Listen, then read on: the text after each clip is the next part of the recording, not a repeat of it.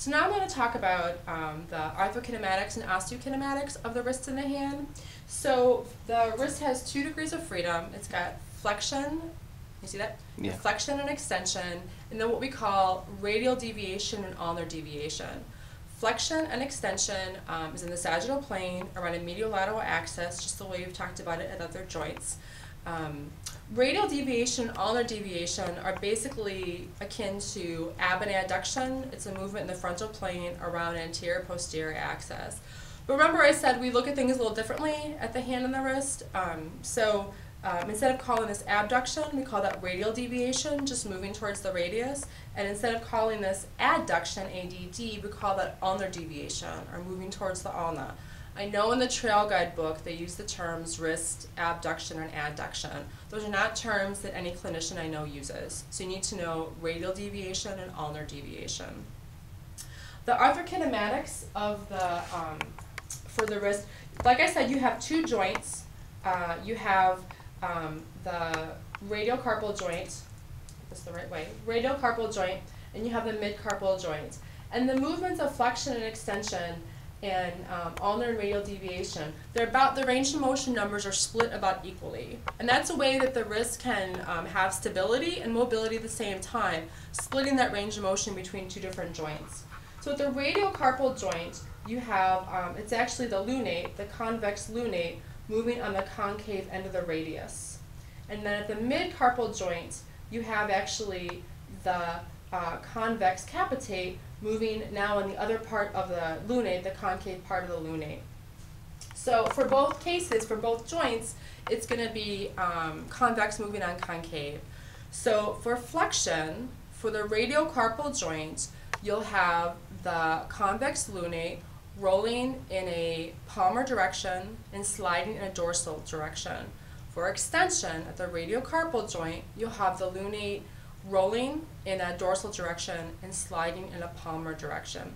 At the midcarpal joint, for flexion, you'll have the convex capitate rolling in a palmar direction and sliding in a dorsal direction. And at the midcarpal joint for extension, you'll have a dorsal roll, dorsal roll of that convex capitate and a palmar slide of the convex capitate. For uh, radial and ulnar deviation, it's similar, just a little bit different. So for uh, radial deviation, at the radial carpal joint, you have this whole um, proximal row rolling in a radial direction and sliding in an ulnar direction because it's still convex on concave. And then for ulnar deviation, you'd have that proximal row rolling in an ulnar direction and sliding in a radial direction. And then at the mid-carpal joint, you have the capitate um, rolling in a radial direction, sliding in ulnar direction for radial deviation. And then for ulnar deviation, you have it rolling in a ulnar direction and sliding in a radial direction. So for all four joint, for both joints, radial carpal joint, um, and the mid-carpal joint, and really for flexion and extension, ulnar radial deviation, it's all convex on concave. It's just different things that are moving. For the other, um, for the other joints, you have, um, leaving the thumb aside for a minute, you have at the CMC joints, you have not very much movement at the second and the third um, rays. Those are considered pretty solid. At the fourth and the fifth, you have a bit of flexion and extension. And then at the MCP joints, again, just concentrate on the fingers now, you have uh, flexion and extension, and you also have ab and adduction. At the MCP joints, and again, we're just talking about the second through the fifth um, digits, uh, we define ab and adduction as around that middle finger. So this is going to be abduction, moving away. It's a little hard to do independently. And then adduction, moving towards.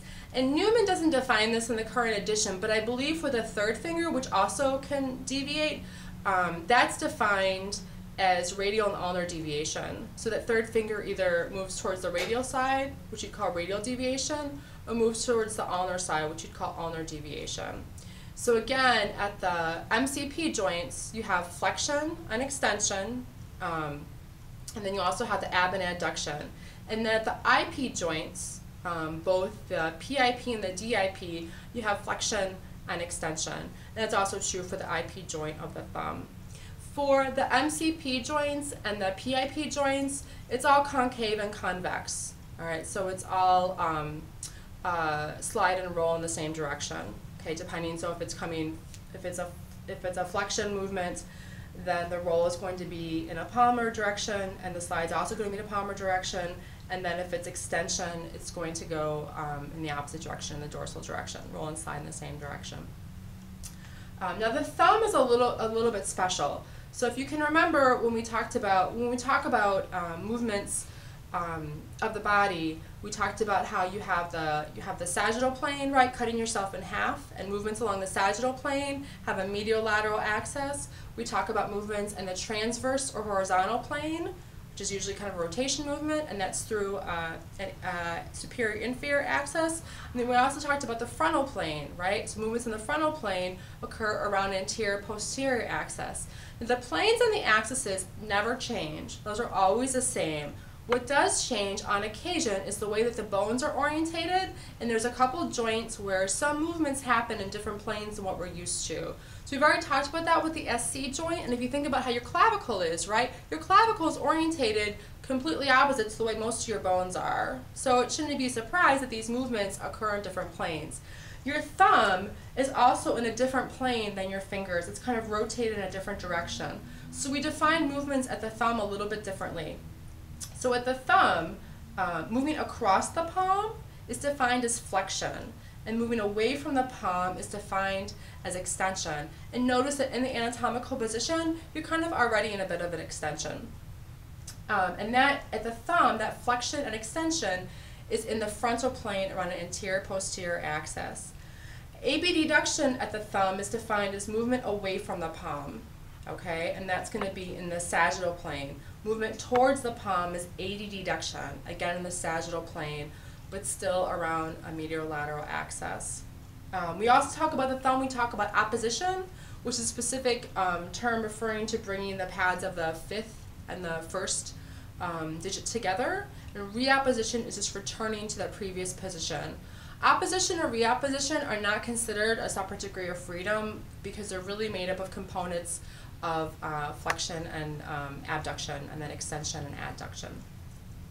So the arthrokinetics of the thumb are a little more complicated. The thumb is a, is a saddle joint. So what that means is that parts of the surface of the trapezium and the metacarpal are convex and parts are concave.